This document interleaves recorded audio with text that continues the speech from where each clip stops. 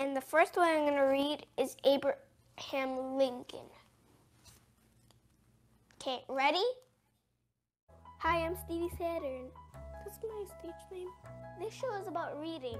I'll read every book I have. I hope you don't get bored with those. Oh, I'm okay. Okay, I'm fine, I'm fine, I'm fine. Let's start the first page. Abraham Lincoln grew up in a log cabin. He farmed the land with his father. Young Abe loved to read and learn.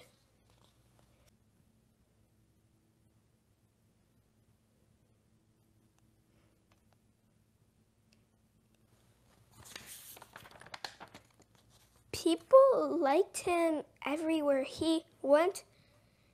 They called him Honest Abe. In 1860, Abraham Lincoln was elected President of United States.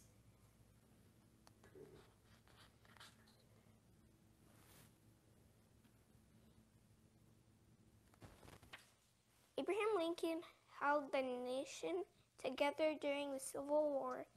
He passed the law that ended slavery.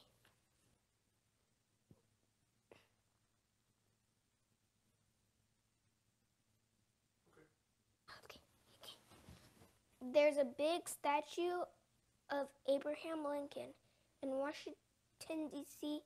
It honors this great leader.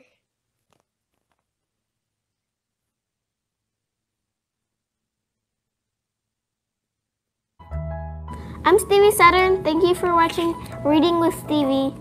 If you like my video, please hit the like button with thumbs up.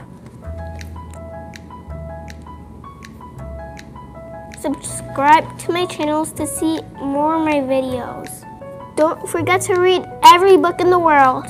Every day you have to read. Read in the bathroom, closet, bedroom, bed, not when you're sleeping, but you can read outside, by yourself, in school, especially in school.